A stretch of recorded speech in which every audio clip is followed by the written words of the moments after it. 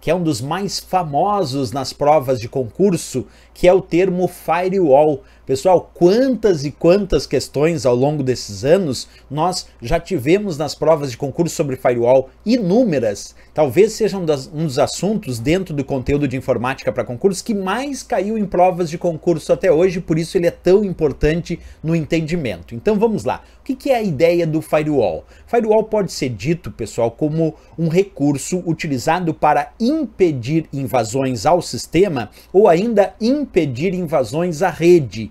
Ele funciona como uma barreira de proteção. Ele é um muro, uma parede de fogo, repetindo que funciona como uma barreira de proteção que protege o computador do usuário ou a rede contra tentativas de invasões. Então a função principal do firewall é proteger o computador contra tentativas de invasões, certo? Observa comigo, essa ideia de ilustração é bem interessante. Aqui eu tenho para vocês a ideia do computador do usuário, aqui esse muro é a ideia do firewall, dessa barreira de proteção, e aqui é a ideia da própria internet. Percebe que o firewall, nesse exemplo aqui da ilustração, o que ele faz é, ora, permitir o tráfego de dados entre a internet e o computador do usuário, e ora, ele bloqueia e impede o tráfego de dados entre o computador do usuário e a internet. Percebe? Ora, ele permite ora ele bloqueia. Se ora ele permite e ora ele bloqueia, quer dizer que ele é configurável. E se ele é configurável, nós podemos configurar o firewall com um nível de proteção mais alto, onde ele vai bloquear mais, ou nível de proteção mais baixo, onde ele vai permitir mais. Isso é tudo configurável, ele na maioria das vezes funciona como um verdadeiro filtro de pacotes de dados. Né? Pois bem, pessoal, deixa eu mostrar mais ilustrações interessantes para vocês aqui. Essa animaçãozinha é bem legal porque mostra a ideia do firewall. Então aqui tem o computador do usuário, aqui o firewall, essa barreira de proteção, e aqui a ideia da internet. Então tem vezes que alguns tipos de pacotes de dados que estão vindo da internet não conseguem entrar no computador do usuário porque ele considera não autorizado esse tráfego de dados. Ele bloqueia, observa, impede, não permite esse tráfego de dados. Mas tem vezes que o firewall analisa e abre as suas portas então e permite aquele tráfego de dados por permitir, por entender que aquele é um tráfego de dados autorizado. Então, com isso, a gente pode perceber que, ora, ele permite, ora, ele bloqueia o tráfego de dados. Mas isso não ocorre, pessoal, somente com a internet, não. Muitas vezes o firewall é colocado como uma barreira de proteção que protege o computador do usuário contra uh, outros computadores da própria rede interna daquela empresa. Tenta imaginar um firewall protegendo a rede do departamento financeiro do restante dos outros computadores da rede interna daquela empresa. Sim, então o firewall também pode ser colocado para proteger contra computadores ou possíveis tentativas de invasão advindas do próprio ambiente interno da empresa. Isso ocorre muito principalmente no ambiente corporativo. E ora ele permite então o tráfego de dados e ora ele bloqueia, como eu já mencionei para vocês, certo? Perfeito, pessoal. Uma coisa muito interessante quando a gente fala sobre o firewall é entender que ele age em relação às políticas de segurança uh, daquela corporação, daquela empresa. Essa ideia de dizer que o firewall ele age sobre as políticas ou de acordo com as políticas de segurança indica que ele é configurável para dar permissão para somente circularem as informações autorizadas. Aquilo ao qual ele foi configurado para entender como não autorizado, ele não permite que haja a circulação daqueles pacotes de dados naquelas portas que foram determinadas. Então, o firewall é sempre importante dizer que ele é configurável de acordo com as políticas de segurança que são implementadas, por exemplo, naquela empresa ou naquela corporação, certo? Como eu já disse aqui, ele funciona muitas vezes como um verdadeiro filtro de pacotes de dados. Nessa atuação a partir de filtros, ele acaba trabalhando com as chamadas regras, né? Então, atuação a partir de filtros, filtros que são criados com regras que vão listar origens e destinos que são aceitáveis e, portanto, ele permite o tráfego de dados e origens e destinos bloqueados dos quais ele então não permite aquele tráfego de dados por considerar tráfego não autorizado, certo? Então a ideia de que ele, é, muitas provas dizem que a atuação do firewall muitas vezes é por filtro de pacotes de dados, isso está certíssimo, corretíssimo para o firewall. Tá? Outra coisa importante quando a gente estuda de forma um pouquinho mais aprofundada a firewall, pessoal, é a ideia do que a gente chama de firewall trabalhando como stateless e firewall trabalhando como stateful. Vamos entender a diferença disso. Um firewall stateless, ele não lembra de informações entre os estados de conexão. Ele não se refere, ele não entende o contexto da conexão e por isso mesmo ele é considerado menos poderoso que o stateful. Então, se a gente comparar a ideia do stateless agora com o stateful, esse é aquele que lembra as informações entre os estados de conexão, ele é sensível ao contexto em que aquela conexão está ocorrendo, e por essas razões, o firewall stateful é mais poderoso que o firewall stateless. Então, é bom a gente saber para efeito de prova. Mais ainda sobre o stateful, é a ideia de que ele analisa e acaba guardando o estado de cada conexão. Isso pode fazer com que o firewall consiga prevenir que pacotes ilegítimos entrem ou saiam da rede, justamente porque ele tem essa capacidade a mais, se comparado ao stateless, o stateful tem essa capacidade a mais de analisar e também guardar o estado que existe entre cada conexão certo? Outra coisa, pessoal, firewall ele pode aparecer implementado por software, como ele também pode aparecer implementado por hardware. Claro que quando a gente diz que tem um firewall hardware, ele tem um nível de proteção mais alto do que aquele que é só firewall software, né? Por exemplo, o firewall do Windows, que vem junto com o sistema operacional Windows, é um firewall software. É apenas um firewall software. É bem básico, é bem simples. Agora, existe firewall hardware, que aí exerce um nível de proteção muito maior. Aí vocês enxergam na tela um firewall hardware. Esse firewall hardware que vocês estão enxergando aí, pessoal, é um equipamento. É uma parte física, é palpável, muito usado em ambiente corporativo, porque as empresas, principalmente empresas de médio e grande porte, vão colocar a segurança da sua rede interna não na mão apenas de um firewall software, essas empresas adquirem equipamentos chamados de firewall hardware que exercem, como eu disse, um nível de proteção muito mais alto nessa tentativa de impedir invasões feitas por hackers ou crackers. Né? Perfeito, vamos resolver questões de prova sobre esse assunto a partir de agora. Vem comigo, questão na, na tela e a leitura é um dispositivo de segurança da rede que monitora o tráfego de rede de entrada e saída e decide permitir ou bloquear tráfegos específicos de acordo com um conjunto definido de regras de segurança. Marque a alternativa correta que corresponde ao contexto acima. Letra A, antivírus. Letra B, VPN. Letra C, firewall. Letra D, proxy. E a letra E, switch gerencial. Pessoal, quando a gente fala, ele diz ali, ó, primeiro, é um dispositivo de segurança, certo? Só que aí alguém vai me dizer, ah, mas dispositivo de segurança, de acordo ali com as alternativas, o antivírus também é, VPN também é, proxy também pode ser usado como dispositivo de segurança, firewall também. Como é que eu vou escolher nessa questão? Porque além dele ter dito que é um dispositivo de segurança de rede, diz que monitora o tráfego de rede de entrada e saída e mais, decide permitir ou bloquear tráfegos específicos. Qual é o equipamento ou o software, aí depende se é equipamento ou software, que faz isso, pessoal, que fica monitorando o tráfego de dados na rede, entre a rede externa, a rede interna principalmente, né? E além disso, ele define regras específicas, ele tem um conjunto definido de regras de segurança. E essas regras, é bem o que ele disse, dão a ideia de que ele decide permitir ou bloquear de acordo com as regras de segurança. Isso é firewall.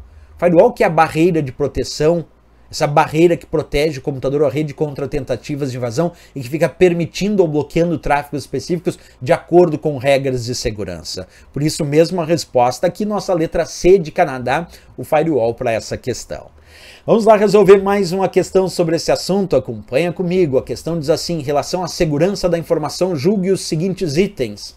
Fazendo analogia com uma loja real, um firewall seria equivalente ao controle de acesso à loja por intermédio de porteiros, vigias, limites físicos e portas. Da mesma forma, a política de segurança no firewall equivale ao modelo de conduta do cidadão visitante da loja e de procedimentos por parte dos funcionários para garantir o bom comportamento social dos visitantes e a integridade do patrimônio da loja. Olha só o que o César Sebrae fez nessa questão. Fiz uma analogia.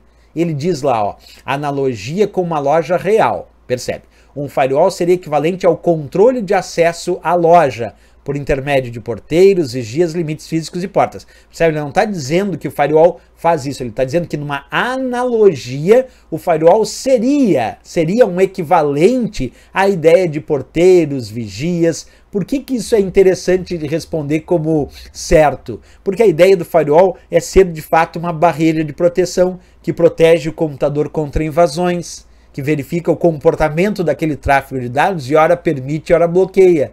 É a mesma coisa aqui se eu for ter uma loja e pensar ali num vigia da loja, servindo como esse que vai impedir invasões à loja ou vai monitorar o que é permitido ou não dentro daquela loja, né? Deu uma exagerada aqui o CESP Sebrasp, mas certíssimo essa ideia comparativa, essa analogia do firewall, principalmente com um vigia de segurança, né? Beleza, pessoal, vamos para a próxima questão desse assunto. Acompanha comigo um equipamento de rede ou um software rodando em um servidor que tem por objetivo filtrar os dados que vêm da internet para a rede interna e vice-versa, fazendo com que a empresa ou usuário tenha todo o controle, trata-se da definição de letra A, ORM, letra B, spyware, letra C, adware, letra D, placa de rede e a letra E, firewall. Pessoal, no momento que essa questão fala que é um equipamento de rede ou software, quer dizer, pode ser hardware ou software, e aí no caso de software rodando em um servidor, que tem o objetivo de filtrar os dados. No momento que ele diz filtrar os dados, matamos a charadinha, porque o equipamento de segurança que funciona como um filtro de pacotes de dados, portanto filtra os dados, é justamente o firewall, que está ali na letra E de Equador e ainda continua ali, além de dizer que filtra os dados, ainda diz filtra os dados que vêm da internet para a rede e vice-versa, fazendo com que a empresa ou usuário tenha todo o controle, porque ele está tranquilo. O firewall está filtrando os pacotes de dados. Então, falou em filtro de pacotes de dados, a gente lembra claro, do firewall, a resposta certa e de Equador. Né? A letra A colocou o ORM, o ORM é um verme que se propaga nas redes, deixando as redes muito lentas. Spyware, que está ali na letra B, é um programa espião que monitora as atividades no sistema. Adware vem de Advertise, é um programa que exibe propaganda e placa de rede é apenas um equipamento que permite a entrada e ou saída de dados daquele computador em relação à rede, mas não é um filtro de pacotes de dados. Na verdade, a placa de rede só permite a entrada e saída do sinal, é o equipamento que conecta aquele computador a uma rede aquele que filtra os pacotes de dados, letra E, firewall, sem dúvida nenhuma o gabarito e a resposta. Vamos lá para mais uma questão desse assunto. Acompanha comigo. Julgue os itens a seguir a respeito de aplicativos usados no combate a pragas virtuais. O recurso de segurança denominado firewall pode ser implementado por software ou por hardware. E aí, o que, que vocês me dizem? Tá certíssimo, a gente comentou sobre isso, lembra? Eu dizia para vocês que firewall é um recurso de segurança e que pode ser implementado por software, como o caso do firewall do Windows, ou por hardware, quando empresas mais corporativas compram equipamentos, parte física palpável, portanto hardware, que funcionam aí para a, o conceito de firewall, funcionam como uma barreira de proteção protegendo a rede contra invasões. Então, certíssima a ideia de que o firewall pode ser implementado por software ou por hardware. Vamos lá para mais uma questão? Vem comigo e acompanha. No firewall, o conceito que está relacionado com a permissão para somente circularem as informações autorizadas é conhecido como letra A, token de ficha, letra B, política de segurança, letra C, o ref duplex, letra D, multiplexação e a letra E, modo protegido. Bem, pessoal, quando ele diz assim, ó, no firewall, o conceito que está relacionado com a permissão para somente circularem as informações autorizadas, esse conceito vinculado ao firewall, estudamos aqui, é chamado de política de segurança. A política de segurança daquela empresa é esse conceito que está intimamente ligado ao firewall, que respeita as políticas de segurança e essas políticas é que definem o que pode ou não circular naquela rede, o que é ou não autorizado. Por isso, nossa resposta, a letra B de Brasil, as políticas de segurança, das quais o firewall respeita, né? Vamos para mais questões desse assunto. Acompanha comigo. Quanto a conceitos relacionados a firewall, julgue os itens subsequentes. É importante que o sistema operacional da máquina na qual o firewall está sendo executado seja confiável e seguro para que ela não seja facilmente invadida e o firewall comprometido. E aí, pessoal, será que é importante que o sistema operacional que está na máquina, como por exemplo Windows ou Linux, é, ele, ele seja confiável e seguro para que essa máquina não seja invadida facilmente?